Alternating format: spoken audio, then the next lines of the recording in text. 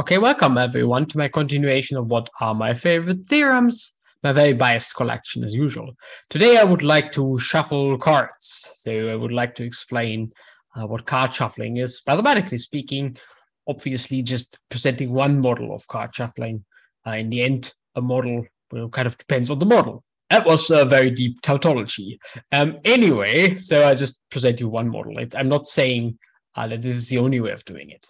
And the model I'm going to present goes back to well, people like Diaconis, which whose work are really really nice. Linked in the description that I'm following.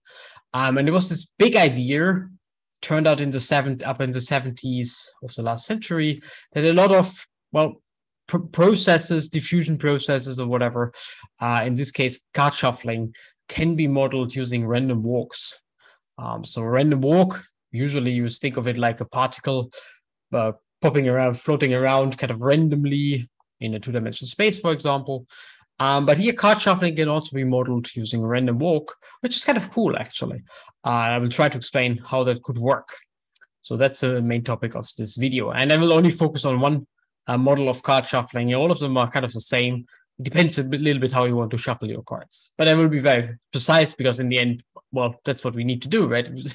Without any precise question in mind, with any on any precise setup, there's basically nothing you can say anyway. Okay, but let's get started. So um, card shuffling is kind of the point I would like to do today here. So to the top left picture, but there are many other, many other um, kind of uh, shuffling problems of the same type that you could also model using random walks, which I'm not going to address at all. Uh, for example, uh, the famous diffusion, like really particles somewhere, um, or DNA can be shuffled. There are shuffling processes in DNA. A link is in the description. It's really, really kind of amazing. And maybe more down to earth and related to YouTube is, well, kind of every kind of music app, also YouTube, will have some shuffling algorithm for playlists. Um, whether they're really well, whether they're really random is a kind of very different question. So as a programmer, you always run into the problem that the kind of our brain doesn't really like random patterns. In some sense, our brain likes symmetric patterns. So most of these shuffle algorithms are kind of a little bit biased. Um, but let's ignore that problem anyway. Brains are weird. So let's just uh, assume that you want to shuffle a playlist and there's a shuffling problem, kind of randomly shuffling the playlist. So there's zillions of potential shuffling problems around in the world. Uh, so it kind of makes sense to ask for hmm, maybe we can try to model them mathematically. And all of them, from all of them, maybe the easiest one is the classical card shuffling. And that's what I'm trying to do. So kind of model the classical card shuffling using some some ideas from mathematics, uh, graph theory, group theory. We'll see. Kind of that's the setup.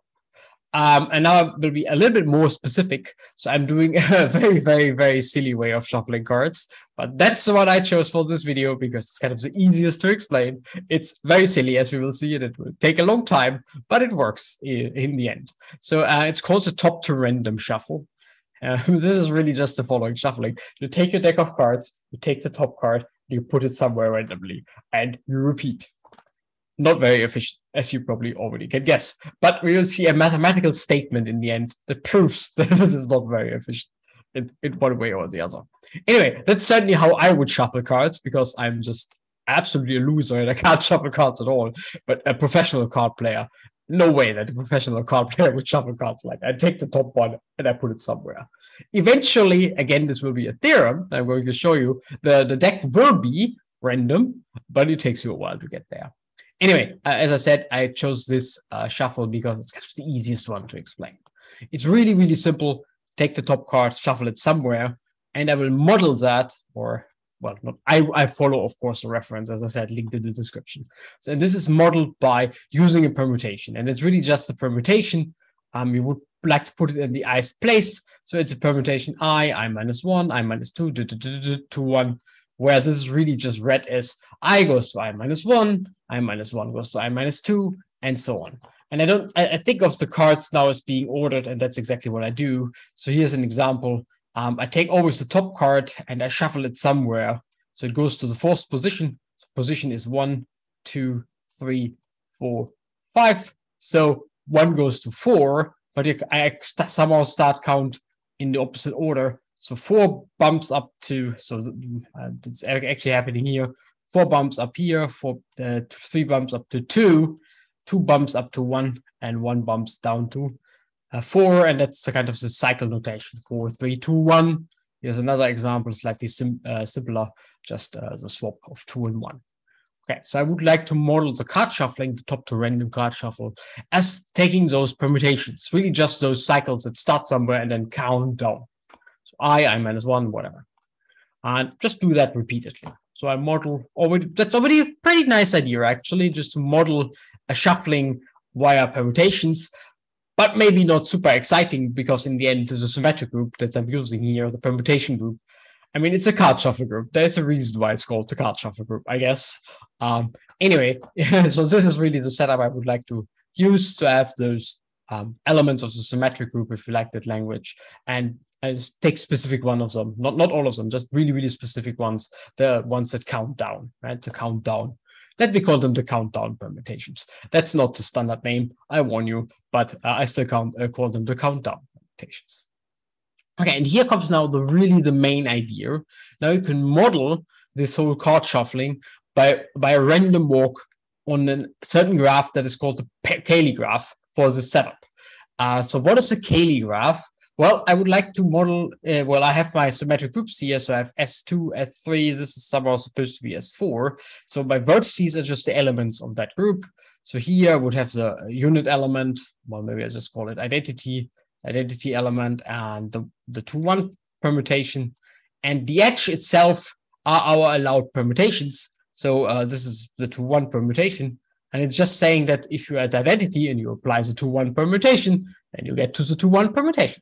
If you apply it again, then you get back to the identity. That's why you get this very easy graph, which is just one, two vertices and two edges.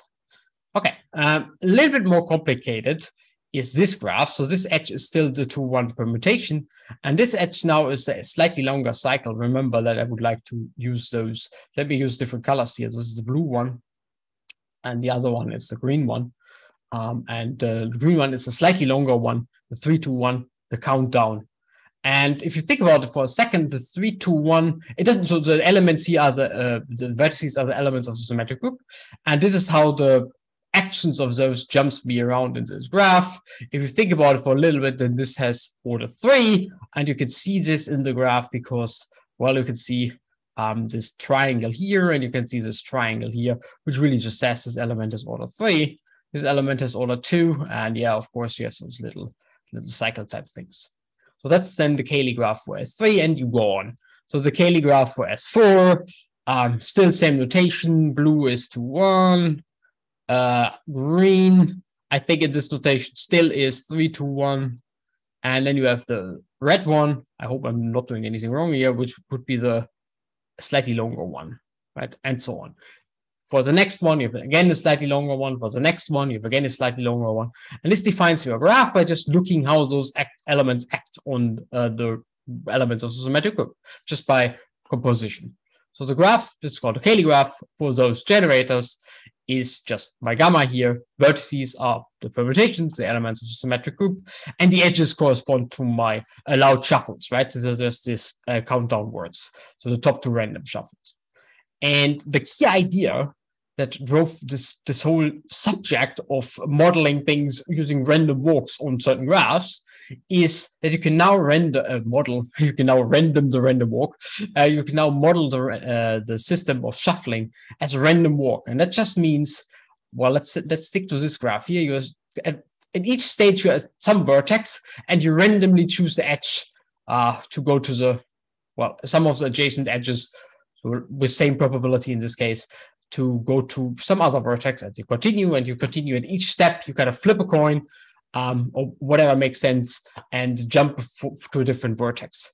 Um, not in, in, I said whatever makes sense because of course if you have more than one or more than two edges maybe flipping a coin is not the best idea anyway.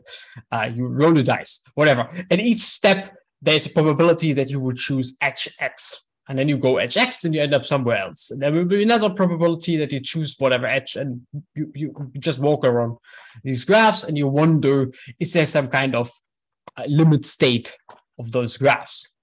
And now you can precisely say what I want here. So the whole system is now modeled as a random walk on those funny graphs, gamma, with a slight catch that I also have to, the really interesting do nothing shuffle. The do nothing shuffle is identity shuffle. So you secretly need to add those little loops here, which correspond to the identity edges at each vertex. Um, because in principle, you could also be very, very smart. Well, I'm certainly very smart. I probably would do that and take the top card and just put it where it was. That's a legal shuffle. Um, very good. And you model that in the graph by just adding those stupid edges. Anyway, but otherwise, just do the same graph as before, the Cayley graph, now with stupid edges, with stupid loops. And every edge in this model is equally likely. You could vary that if you want to. You could say certain shuffles are more likely than others, but in this model, everything is equally likely. Um, so for example, in this example down here, I have three edges, right? I have this edge here, let's say for this vertex, this edge, and I have the loop. Uh, so each one, you would take each one with probability one over three, because it's equally likely. And then you do your random walk um, on this graph. And there's a theory of random walks on graphs that you then can apply to kind of tell you something interesting about the model. The first thing you would do here is you would say that the walk is what is called ergodic.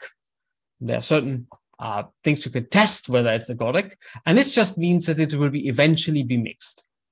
Definitely not all more, uh, walks are ergodic, so we can we can model the very stupid shuffle, where the only allowed shuffle is exactly the you put your top card and you don't move it at all. That's not a ergodic, and that's kind of makes sense. It shouldn't be because the deck eventually certainly is still the same, so you never mix it really. So this is already a statement. So you could prove that this is a mathematical proof that um, the top to bottom shuffle eventually will mix your deck. But you can do better, basically by um, analyzing the spectrum of this graph, so I've done this down here. You, the, the graph corresponds to a matrix, which you weight by the probability. You compute the eigenvectors, you compute the eigenvalues, um, but you usually do uh, in linear algebra. And these will tell you the, the growth rates. And from the growth rates, you get some bounds on how long it will take for uh, the, the deck to be completely shuffled. In particular, in this case, you can solve everything very nicely. And here's the statement. Uh, so for each for each bound you want, you can go as close to zero as you want, where the top to random after k shuffles is basically uniform. Uh, so smaller equal, the difference is smaller equal than e to the minus c. And just to give you some explicit numbers, so e to the minus 5 is roughly 1%. So let's just say it's 1%. Uh, so if you take c equals 5, then your deck is really, really already randomized. It's uh, very close to the uniform um, uh, distribution. And well, let's say you have a usual deck with n equals 54 cards, then you need these number of shuffles to get below 0.1%, uh, so, so 1%. And if you just plot in the numbers, so 52 and 5, it takes you a while. So you roughly need 500 shuffles. So it's really, really inefficient, and you can measure precisely how inefficient it is, but it actually eventually gets you there because it's ergodic. Say it again. It's kind of cool way of doing it. You just model it uh, on a graph. You solve some linear algebra problems for that graph, and you get those life statements like um, the deck will eventually be mixed, which is kind of obvious for this way of shuffling cards. It's not quite obvious in general. This for this way, it's kind of obvious. But anyway, and you can also get some some bounds how long it will take. So here you can see roughly 500 shuffles to shuffle the standard 52 deck card it will take you a while. So um, you, you should get started to to do the top to um, the top to random shuffle. And that's not the only shuffle you do. So as I said, no no professional player, no professional card player. I hope at least. I won't. I won't to- speak for professional card players, but I hope they won't use the top to bottom shuffle.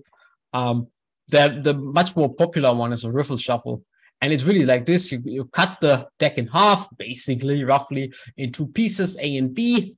Okay, so here's A, here's B, and then you riffle them, like riffle cards together, and you end up with something. And you can again model that using a permutation here. This permutation is this permutation, if it hasn't messed up. Um, you get a bigger set of permutations or a different set of permutations. You play the same game with the same random walk, but now on a different graph because you have different permutations. Um, it's a bit tricky to explain. It's not really hard. The link is in the description. That's why I'm trying to avoid it. And I've chosen the other one, but it's really kind of the same setup. Um, and again, you can prove that it's ergodic and you get a much better bound than this or much faster convergence than the one here by analyzing the eigenvalues and eigenvectors of the graph, and you get something like this famous uh, result that seven riffle, shuffles are actually enough to randomize your deck, whatever that means in the end. Um, yeah, so point of this video today was kind of to explain that these random walks are actually um, very, very strong in the sense that they can model a lot of well, kind of natural questions that come up in real life. So shuffling problems is not just related to cards. Shuffling problems appear somehow everywhere. Um, as I said in my example, using the YouTube playlist, for example, and you kind of want to solve those shuffling problems in some nice way. And you can actually do it by analyzing, in the end, eigenvalues and eigenvectors of matrices or of graphs, which is a kind of cool way uh, to get bounds for how long it will take to do whatever, in this case, to randomize the deck. And you also get results like it's actually possible to randomize the deck, which is not always the case. Keep in mind that the silly shuffle, uh, don't move your card at all. Well, that's also a shuffle, but it certainly will never get you there. So it's not trivial at all. Um, all the usual sh shuffles, like like riffle shuffle and top to bottom shuffle, they certainly will do the job. And you can prove that mathematically. That's pretty cool. Anyway, I hope you enjoyed the video and I will see you next time.